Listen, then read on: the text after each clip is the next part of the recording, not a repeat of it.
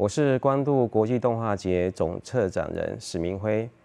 动画是时间加空间的生命成长。今年关渡国际动画节要带来四十七个国家、上百部不同风格的动画作品。